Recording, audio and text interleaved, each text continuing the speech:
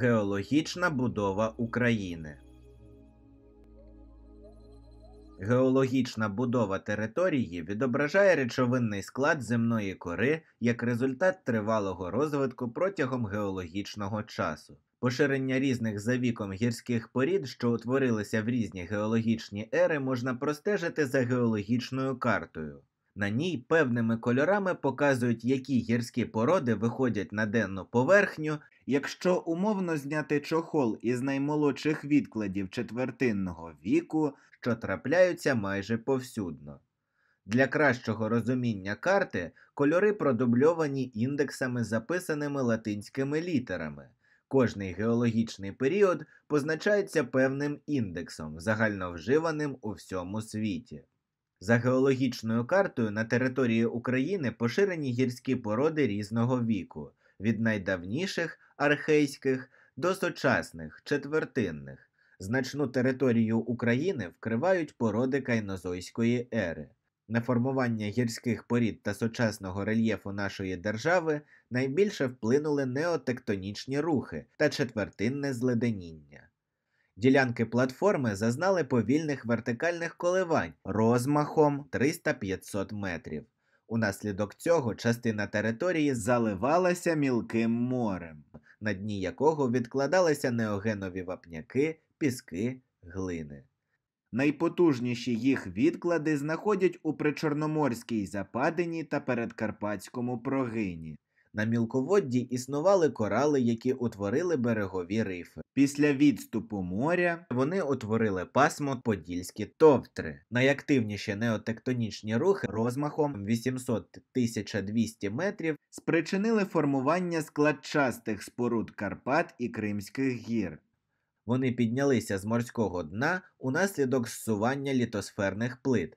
Землетруси тут трапляються й донині. Епіцентри найінтенсивніших поштовхів зосереджені на межі південних і східних Карпат на території Румунії, так звана зона Вранча. Завдяки значним глибинам 80-190 км і силі поштовхів землетруси проявляються на великій території Європи від Греції до Фінляндії. В Україні поштовхи від зони Вранча найвідчутніші в Одеській області. Другим осередком землетрусів є дно Чорного моря біля узбережжя Криму, де відбувається опускання південної затонулої частини Кримської гірської споруди. З просуванням на схід і північ України від зазначених районів сила поштовхів землетрусів зменшується.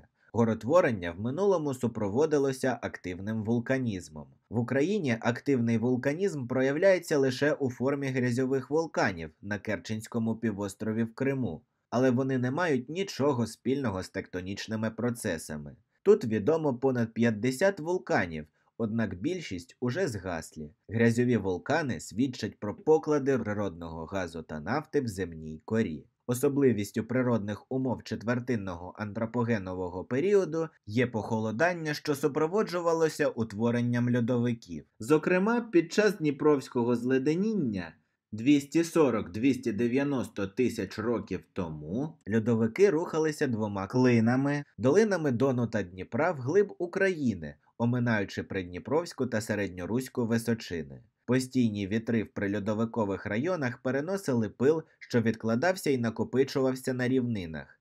Поступово пил ущільнювався та перетворювався на леси та лесоподібні суглинки, гірські породи, що нині вкривають 70% площі України.